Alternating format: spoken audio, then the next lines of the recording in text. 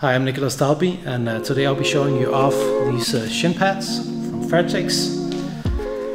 Shin pads, always an excellent idea. It means I can kick on my aspiring partner without him getting injured. Boom. And I can block stuff as well without getting too much pain on my shin pads.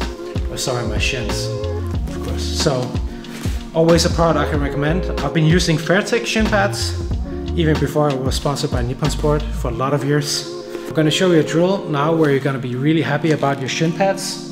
So my training partner, he's gonna low kick me and then I'm gonna block and I'm gonna throw back a, a kick with the same leg again. So there, boom. And we can do this without me having to be careful about busting up my shins or his body. Like this. So, great, great accessory to have, essential, excellent quality. They hold up very, very well and you can get them in a lot of colors. So I can highly recommend this product.